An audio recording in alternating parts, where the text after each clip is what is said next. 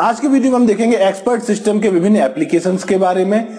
कौन कौन से एप्लीकेशंस होते हैं एक्सपर्ट सिस्टम के? तो जिस प्रकार से आपको डायग्राम में यहाँ पर चार्ट दिखाई दे रहा है, कुछ एप्लीकेशंस और उनके डिस्क्रिप्शन के बारे में दिया गया है। सबसे पहला है डिज़ाइन डोमेन जैसा कि हमने अभी देखा था कि एक्सपर्ट सिस्टम जो विभिन्न प्रकार के डोमेन के अंतर्गत काम करता है। डिज़ाइन डोमेन हो गया मेडिकल डोमेन हो गया, मॉनिटरिंग डोमेन हो गया, या प्रोसेस कंट्रोल सिस्टम होता है, या नॉलेज डोमेन हो गया, या फाइनेंस या कॉमर्स के अंतर्गत। तो विभिन्न प्रकार के डोमेन है, ये सब उनके एप्लीकेशन के अंतर्गत आते हैं। जैसे अगर हम बात करें डिज़ाइन डोमेन की तो डिज़ाइन डोमेन के अंदर camera lens design, automobile design के लिए एक्सपर्ट सिस्टम का प्रयोग किया जाता है। मेडिकल डोमेन की अगर बात करते हैं तो डायग्नोसिस सिस्टम का प्रयोग जो है एक्सपर्ट सिस्टम के द्वारा किया जाता है। निदान प्रणाली मनुष्य पर बनाया डेटा चालन, चिकित्सा संचालन से बीमारी के कारण को पता करना या उसको कम करने की प्रक्रिया, ये सभी काम एक्सपर्ट सिस्टम करते हैं।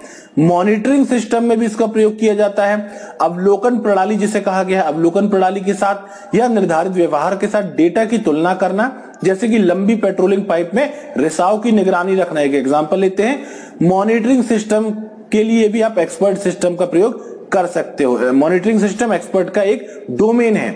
इसके अलावा process control system controlling a physical process based on monitoring निगरानी के आधार पर एक शारीरिक प्रक्रिया को नियंत्रित करना भी एक्सपर्ट सिस्टम का काम होता है। Knowledge domain finding out fault in vehicle computers वाहनों और कंप्यूटरों में दोषों का पता करना यह काम भी एक्सपर्ट सिस्टम का होता है।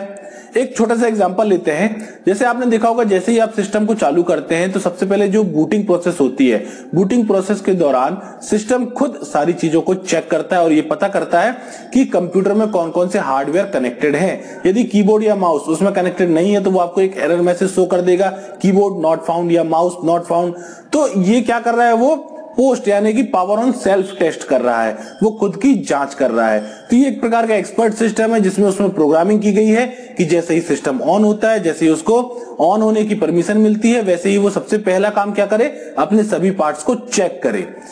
अगला है फाइनेंस और commerce detection of possible fraud suspicious transaction stock market trading airline scheduling cargo scheduling यानी कि संभावित धोखाधड़ी, संदिग्ध लेन then stock market trading airline scheduling cargo scheduling का पता लगाना, ये सभी काम एक्सपर्ट सिस्टम के माध्यम से आसानी से किए जा सकते हैं।